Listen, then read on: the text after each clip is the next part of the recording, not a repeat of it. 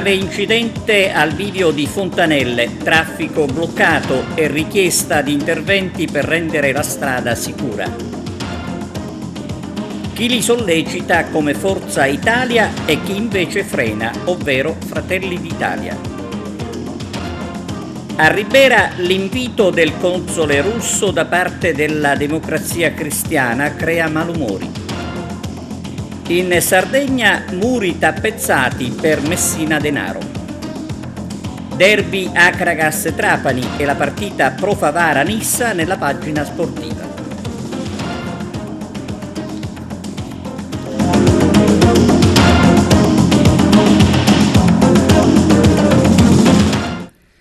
Bentrovati da TVA Notizie. Apriamo con la cronaca, con il grave incidente sulla 189 al bivio di Fontanelle. La gente ora chiede interventi per rendere sicura la strada che è di proprietà comunale, ma pochi lo sanno. Grazie al cielo non c'è scappato il morto, ma l'incidente di questa mattina sulla 189 all'uscita da Fontanelle è stato gravissimo. Mentre sono al vaglio della polizia locale le cause, c'è da dire che lo scontro è avvenuto in un punto, tra l'altro, particolarmente pericoloso visto il traffico, ma soprattutto la velocità con la quale i veicoli che giungono da nord percorrono il tratto di statale. Oggi l'incidente ha avuto una dinamica che, come detto, è al vaglio della polizia locale, ma chi abitualmente si immette dal bivio di Fontanelle in direzione Agrigento deve fare i conti tutti i giorni proprio con l'alta velocità avvertendo il grave pericolo. Non è certo il caso di oggi, ma il pericolo esiste e rimane. Ecco perché soprattutto gli abitanti di Fontanelle chiedono alle autorità competenti, a cominciare dal comune proprietario della strada, di vigilarla opportunamente, facendo ricorso anche all'autovelox, l'unico deterrente, a quanto pare, capace di scoraggiare l'alta velocità, così come avviene sulla 640 di fronte al distributore Erghe. L'incidente di oggi ha visto coinvolte una Volvo e un Audi. A quanto pare la peggio è toccata al conducente dell'Audi che si trova ricoverato al San Giovanni di Dio. Immediati sono stati i soccorsi con le ambulanze giunte sul posto assieme a carabinieri e agenti di polizia e vigili urbani. Con la strada chiusa si sono create delle lunghe code lungo il viale Sicilia. Alla festa dell'amicizia di Ribera, invitato dal segretario della Democrazia Cristiana Salvatore Cuffaro, il console russo Sergei Patronov, ma ci sono polemiche. Arturo Cantella. Il leader della DC, nuova Totò Cuffaro, ha invitato il console russo Sergei Patronov a parlare di pace alla festa dell'amicizia in programma a Ribera la settimana prossima. Il rappresentante della Russia di Putin, paese in guerra con l'Ucraina, sarà l'ospite della tavola rotonda dal titolo Pace, dialogo, disarmo dall'utopia alla ragion di Stato. Sergei Pratonov, laureato presso l'Istituto Statale delle Relazioni Internazionali di Mosca al Ministero degli Affari Esteri, nel 1984 parla italiano, l'inglese e francese ed è consigliere diplomatico di prima classe sin dal luglio 2007. Dall'84 in servizio diplomatico presso il Ministero degli Affari Esteri, ricoprendo vari incarichi sia all'amministrazione centrale del Ministero degli Affari Esteri della Federazione Russa che all'estero. Invitare il console russo Sergei Patronov alla festa dell'amicizia per parlare di pace è un gesto di libertà, afferma il leader della democrazia cristiana Totò Cuffaro. La democrazia cristiana, lo ricordiamo, chi ha corta memoria, non teme il dialogo e il confronto, anche se certi gesti richiedono coraggio. Quando si parla di valori non negoziabili per il nostro partito, si intende anche della pace, che è un valore assoluto al quale non vogliamo rinunciare. Auspichiamo, continua Cuffaro, che da questo momento il dialogo con il console russo possa raccogliere e farsi portavoce di messaggio di pace che la nuova DC intende proteggere e salvaguardare con ogni mezzo lecito a disposizione opposizione. Le polemiche provocate dal noto quotidiano regionale siciliano non è piaciuto neanche a Carmelo Pace, capogruppo della DC all'Ars. Intanto, il 5 ottobre, giorno della festa inaugurale alle 17 a Ribera, Ci sarà il presidente dell'Ars Calvagno, quindi un tavolo tecnico giovani tra crisi e opportunità, quali sfide per il futuro presso la sala convegni Giovanni Ragusa. Con i relatori saranno Gaetano Calvagno, presidente dell'AS, Roberto Lagalla, sindaco di Palermo, Domenico Bonanno, capogruppo DC in consiglio comunale a Palermo, Felice Pecoraro, primario di chirurgia vascolare al Policlinico di Palermo, Maria Elena Oddo, presidente giovani imprenditori Sigindustria Palermo, modererà Salvatore Licastri, vicepresidente degli ordini del giornalisti. La festa continuerà sempre alle ore 18 in Corso Umberto con la Fiera delle Eccellenze Siciliane, lo street food. Al termine della prima giornata sono previsti due spettacoli musicali, uno in Piazza Duomo col famoso agrigentino band Gio Castellano e Silvia Mezzanotte. Presente alla festa anche l'onorevole Rotondi. Siamo felici, afferma l'onorevole Pace, che abbia accettato l'invito. Rappresenterà proprio un momento di confronto per un contraddittorio dopo le polemiche dei mesi scorsi. La democrazia cristiana, afferma Pace, è un partito che si fonda sul dialogo e sul rispetto.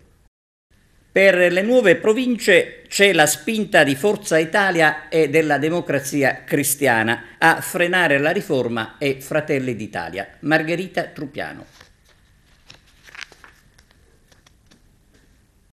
Il ritorno delle province sembrava cosa fatta, invece il DDL che contiene le norme che permettono l'elezione diretta delle province si arena in commissione bilancio all'ARS. Il problema sono i costi e la richiesta ancora non evasa da parte della commissione all'assessorato bilancio per capire quanto incide economicamente questa riforma tenuto conto che la stessa ha previsto un allargamento dei numeri dei consiglieri e assessori provinciali che secondo qualcuno che si è spinto a fare il calcolo potrebbero ammontare a 4 milioni di euro. È molto probabile che le acque non perfettamente calme tra i partiti che sostengono la maggioranza Schifani abbiano dunque fatto propendere i deputati per un rinvio dell'esame della questione, anche perché di fatto Forza Italia e Democrazia Cristiana sollecitano la definizione dell'iter e nel frattempo Schifani ha nominato i nuovi commissari. Fratelli d'Italia prende tempo in attesa che in vista della controriforma che dovrebbe dovrà essere predisposta a livello nazionale, si potrebbe approvare all'ARS un DDL in contrasto. Nessun problema ad analizzare meglio il disegno di legge, ha detto qualcuno tra i meloniani, ma dovremo fermarci in attesa che Roma legiferi e reintroduca le province. Se ne parlerebbe nel 2024. Nuovo comandante della tenenza dei carabinieri di Favara. È il capitano Leonardo Mirto, Arturo Cantella. Cambio di guardia alla tenenza di Favara, il capitano Leonardo Mirto, di anni 58, laureato in giurisprudenza, sarà il nuovo comandante della tenenza dei carabinieri di Favara. Succede al capitano Fabio Armetta, trasferito al comando compagnia carabinieri di Piazza Armerina. Il capitano Mirto vanta una lunga carriera nell'arma dei carabinieri, iniziata nel lontano 1991. Nel corso degli anni ha ricoperto diversi incarichi operativi e investigativi, tra cui quello di addetto al nucleo investigativo del comando provinciale dei carabinieri di Verona e quello di comandante del nucleo operativo e radiomobile del comando compagnia carabinieri di Sassuolo. Prima di andare a Favara, il capitano Mirto ha comandato per quattro anni la tenenza dei carabinieri di Montecchio Maggiore, in provincia di Vicenza, dove ha svolto un'intensa attività di contrasto alla criminalità comune, nonché di tutela dell'ordine e della sicurezza pubblica. L'onorevole Ida Carmina di 5 Stelle ha presentato una interrogazione al Ministro degli Interni sulla situazione dei migranti a Porto Empedocle. L'onorevole Ida Carmina, parlamentare nazionale del Movimento 5 Stelle, insieme ai colleghi siciliani e un nutrito gruppo di parlamentari, ha presentato un'interrogazione parlamentare in risposta orale al Ministro dell'Interno Piantedosi sull'emergenza sbarchi e sulla gestione migranti in Sicilia e in particolare sul flusso incontrollato che ha provocato situazioni di notevoli gravità non solo a Lampedusa ma soprattutto a Porto Empedocle, primo approdo nella nostra isola Adesso è sicuramente più tranquilla che non nelle giornate infuocate in cui ci sono stati quasi 12.000 sbarchi in pochi giorni e abbiamo vissuto anche un dramma qua a Porto Empedocle e continuiamo a viverlo perché per alleggerire la situazione a Lampedusa poi in realtà li portano tutti qui. Io andando a visitare l'hotspot insieme al Presidente Conte ho potuto anzi constatare che lì le condizioni sono eh, più umane perché ci sono delle brandine, c'è la possibilità di lavarsi, eh, ci sono degli edifici, mentre qua eh, voi sapete eh, c'è un caldo eh, davvero eccessivo, bestiale e, e, abbiamo delle persone, uomini, donne, donne gravide, bambini, neonati che sono esposti al sole tutta la giornata, dormono per terra con eh, quasi nessuna possibilità di lavarsi, evidentemente la situazione è drammatica, infatti da qui fuggono a centinaia cosa che per la verità non si verifica a Lampedusa. Da qui fuggono, mi dicevano anche oggi ce n'erano decine per le strade perché è una situazione non degna eh, da esseri umani. Io eh, è da tempo che chiamo, ho chiamato eh, al Ministero degli Interni, eccetera, ma si fanno evidentemente sordi perché non è questo il sistema. Andavano e vanno immediatamente eh, predisposte le navi per l'accoglienza in modo che si faccia lì identificazione e si dia eh, diciamo, modo di alloggio decoroso per un essere umano eh, e poi si eh, avvino verso le destinazioni finali. A Lampedusa abbiamo fatto una gorà, c'era tanta gente, davvero alla maniera greca in cui si affrontavano i principali problemi dell'isola, ma una cosa è venuta fuori in modo accorato dagli lampedusani. Loro che cosa temono? Infatti hanno bloccato eh, la macchina del presidente eh, Meloni e il fatto che potessero essere scesi dei mezzi militari, delle tende eh, dal traghetto trasportate lì nell'isola. Temono che in realtà di quest'isola si faccia un enorme campo profughi.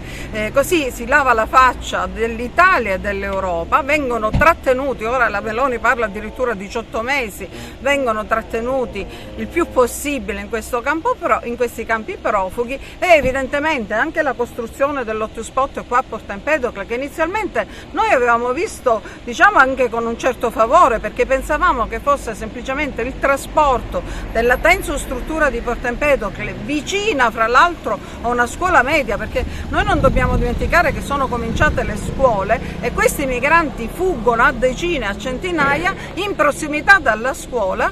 Allora anche noi che inizialmente avevamo dato guardato diciamo, in modo favorevole questa soluzione del trasporto della eh, tensostruttura in zona meno centrale, adesso temiamo che questa sia l'occasione eh, per fare una sorta di campo profughi anche a Porto Empedocle perché se con un semplice piazzale hanno messo lì 2500 persone non oso pensare cosa succederà quando ci saranno qui alloggio per 100-200 persone e succederà peggio che a Lampedusa avranno la via comoda per fare di questa terra, di questa provincia, abbiamo già anche Siculiana, veramente il campo profughi d'Italia e d'Europa.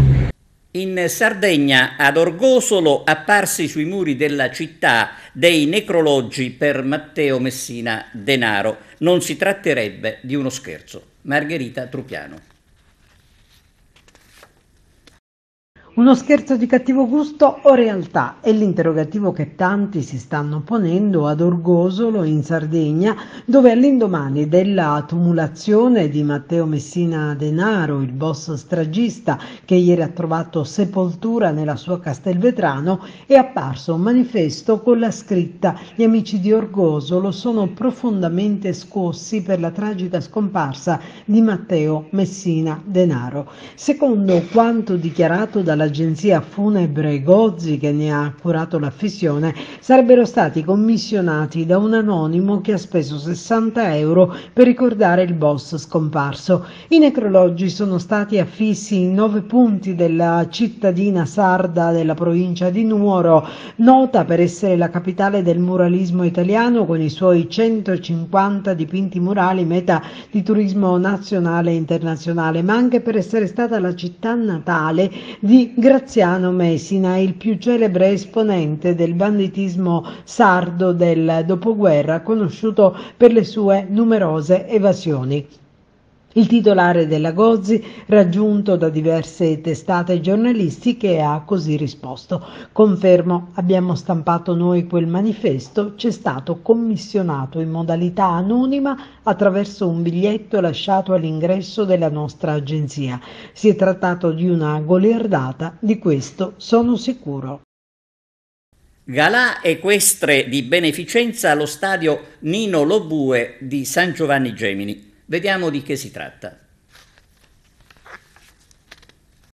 Un galà equestre di beneficenza realizzato al campo sportivo Nilo Bue di San Giovanni Gemini dall'associazione Power House dagli Amici del Cavallo in sinergia con il gruppo storico Abatellis Blanciforti di Cammarate e San Giovanni Gemini con il patrocinio dei comuni di San Giovanni Gemini, Cammarata, Proloco.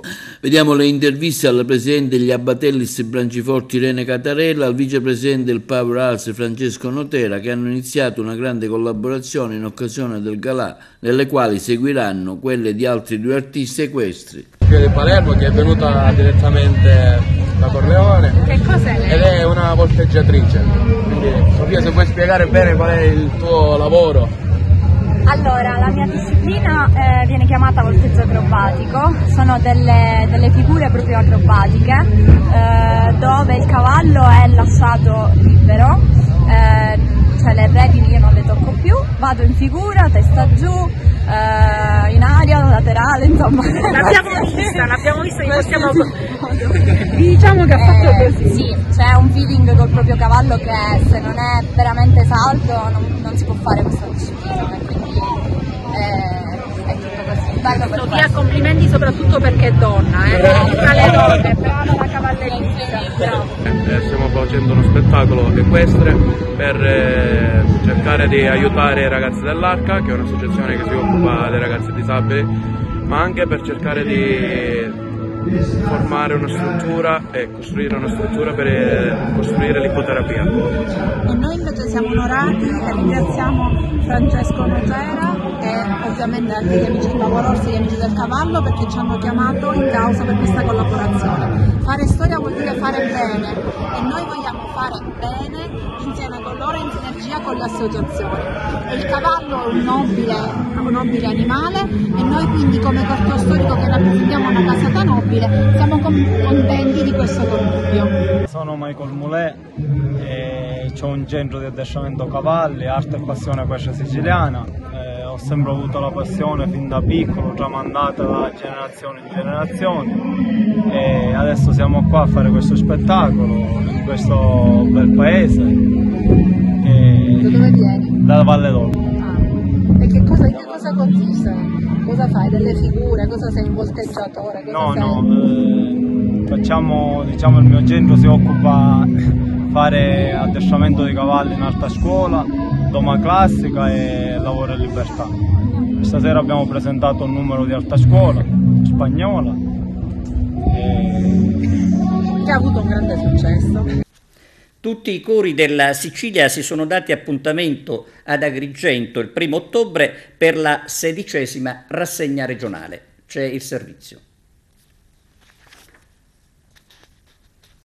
L'Associazione regionale dei cori siciliani, Ars Cori, in collaborazione con il coro Magnificat di Agrigento, organizza e promuove domenica prossima, 1 ottobre, alle ore 9 alle ore 19, con il patrocinio del Sessorato Beni Culturali della Regione Siciliana, il Comune di Agrigento, il Parco della Valle, l'Arcidiocesi di Agrigento, la rassegna regionale dei cori siciliani, giunta quest'anno alla sua sedicesima edizione, nata per favorire l'incontro e lo scambio di esperienze tra le corali associate e al contempo offrire al territorio una giornata di musica e di spettacoli. L'evento inizierà con la sfilata per le vie principali di Agrigento dei 16 cori partecipanti per un totale di oltre 600 coristi alle ore 10 i cori riuniti eseguiranno O Sacrum Convivium nella scatinata della cattedrale, all'interno della quale alle ore 11.30 animeranno la Santa Messa a partire dalle ore 16 del pomeriggio le 16 corali partecipanti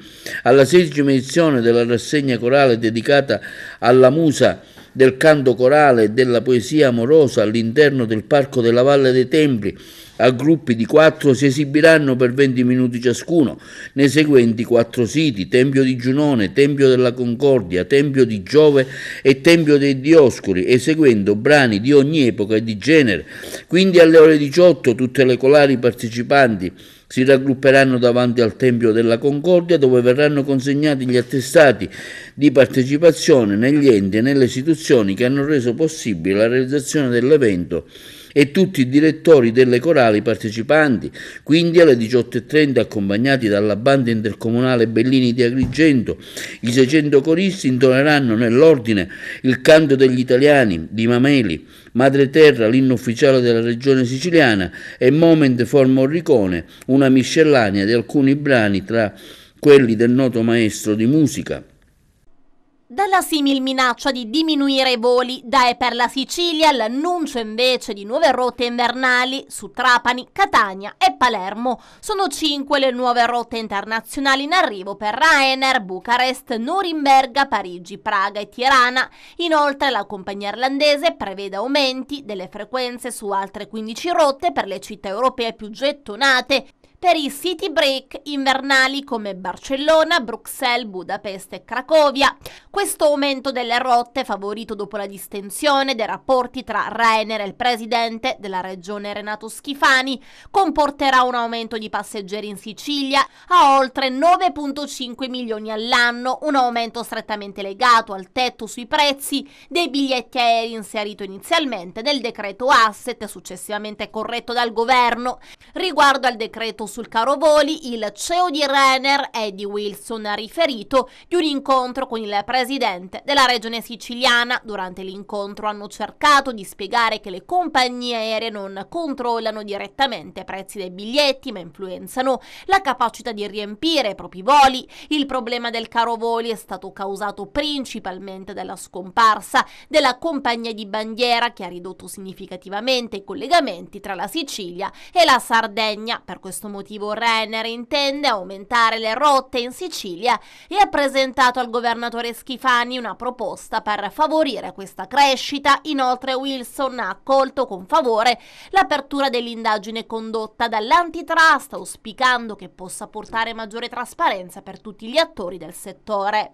Anche Schifani adesso ha cambiato atteggiamento ed è molto più disteso, riconoscendo l'importante ruolo di Ryanair nel mercato italiano, soprattutto in quello siciliano. Ha chiarito che l'obiettivo del governo è garantire prezzi più accessibili nel trasporto aereo, promuovendo la libera concorrenza e contrastando ogni forma di aumento di prezzi, soprattutto se considerata inaccettabile. Si sta adesso valutando la possibilità di istituire un tavolo tecnico per un dialogo costante, soprattutto costruttivo.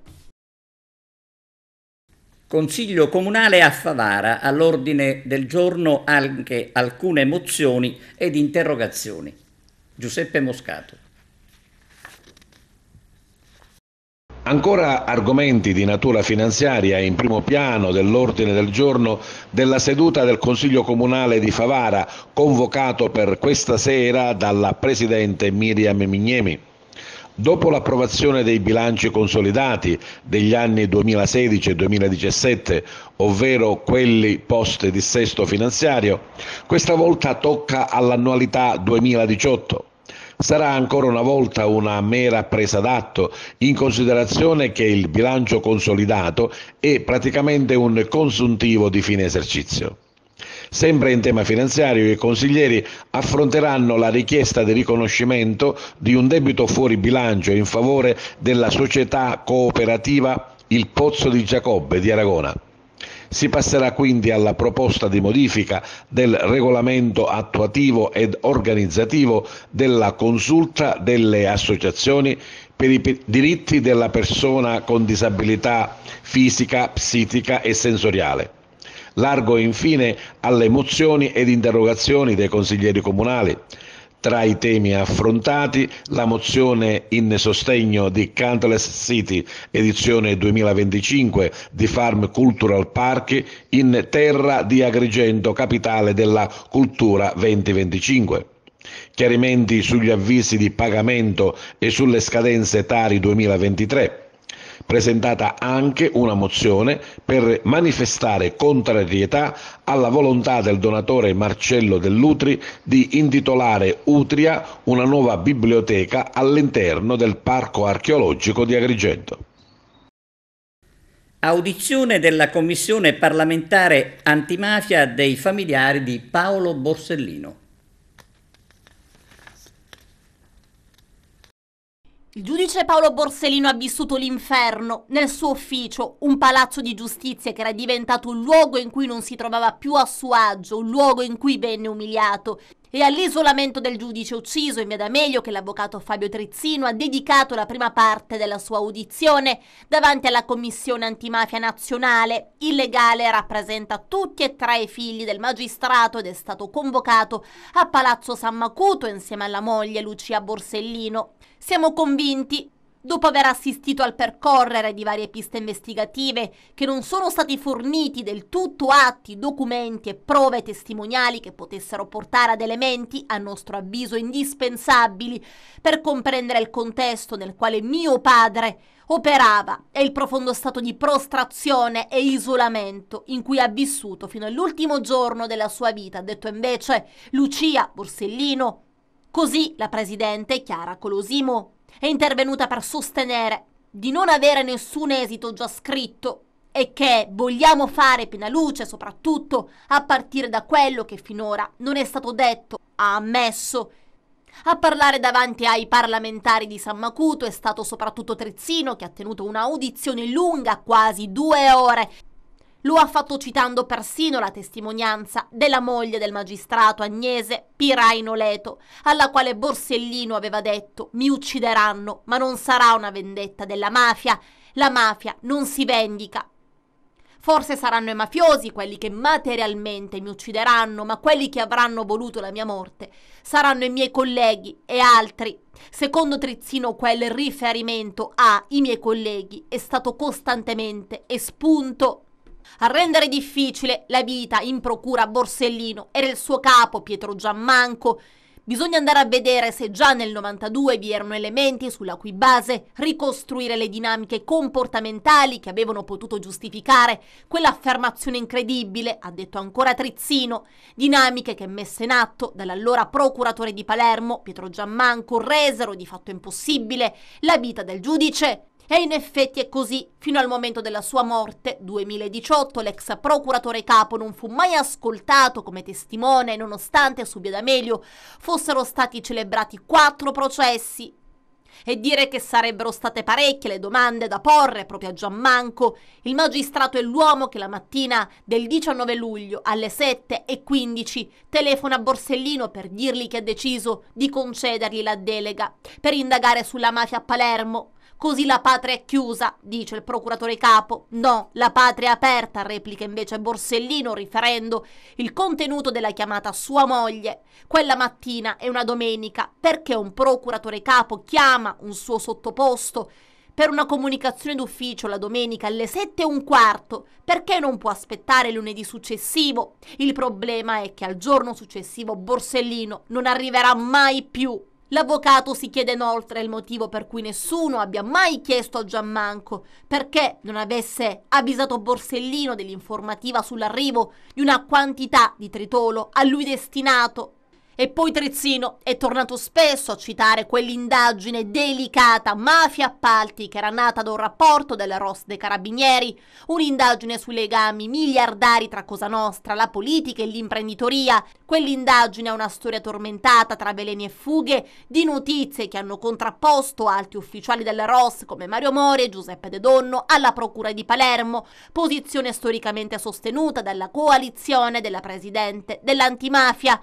Gli anni passano, ma le tante domande restano su un'indagine che è tutt'altro che chiusa. Pausa per la pubblicità, linea alla regia, a tra poco.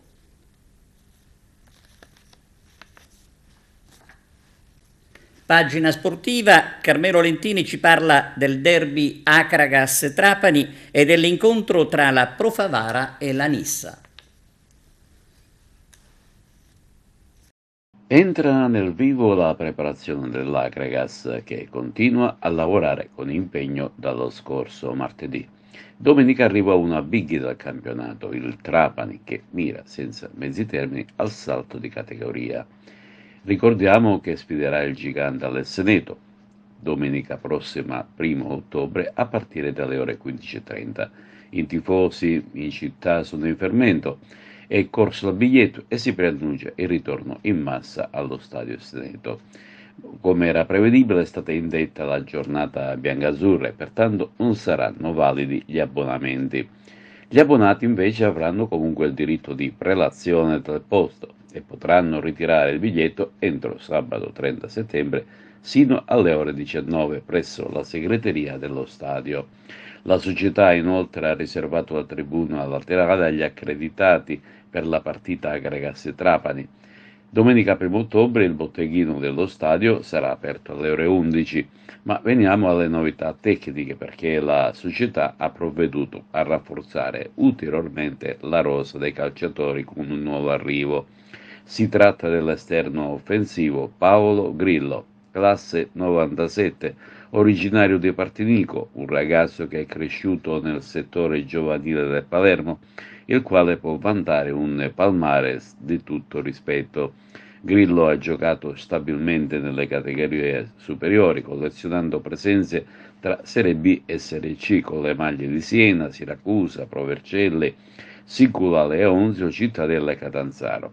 È stato ultimamente protagonista con la Vibonese proprio nel girone C di Serie C. Al termine della stagione ha totalizzato 25 presenze segnando anche un gol. Ha militato anche con il Messina. Grillo è già a disposizione del tecnico Coppa e si sta allenando con i nuovi compagni. Altro importante appuntamento invece è per il prossimo sabato 30 settembre allo stadio Saraceno di Ravanusa dove a sfidarsi saranno le due big del campionato di eccellenza Girone A. Pro Favaranissa, anche in questo caso si prospetta il pubblico delle grandi occasioni ed in entrambe le città c'è grande fermento per questa sfida ad alta quota. Entrambe si presentano agguerrite ai nastri di partenza con le rispettive tifoserie pronte ad affollare le tribune dello stadio ravanusano. Anche per questa partita è stata indetta una giornata speciale, vale a dire quella giallo-blu. Bene tutto, grazie per la vostra attenzione e arrivederci.